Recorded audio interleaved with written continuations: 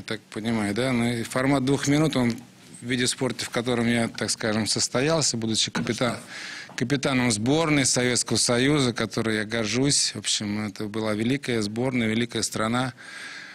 И мы представляли порядка 130 национальностей, наверное, да, и флаг Советского Союза, который поднимался по всему миру, это была гордость всех тех, кто проживал на территории нашей великой страны. Значит, мы все с вами дисквалифицированы, удалены на 2 минуты каждый, так как формат... Вообще я привык к 20-минутному формату э, чистого времени, да, поэтому... утра не закончим Мы постараемся. А, знаете, ну, наверное, сам посыл не совсем верный, и я присоединился к этому закону, а, посчитав, что а, он может дать возможность тем людям, которые хотят вернуться в Россию, которые волей судеб оказались за ее пределами, не претендую ни на какие программные, так скажем, а, а, продукты, которые у нас существуют, вот, а просто хотят вернуться. И я думаю, что я сталкивался с этим в повседневной жизни. Я знаю многие люди, которые сейчас э, живут, работают и хотят, в общем, вернуться в Россию. В общем, воспринимают этот законопроект как э, э, очень хороший посыл. И я думаю, что та конкуренция, которая сейчас во всем мире растет, и особенно даже в Соединенных Штатах молодые люди, которые получают шикарное образование, не могут найти работу.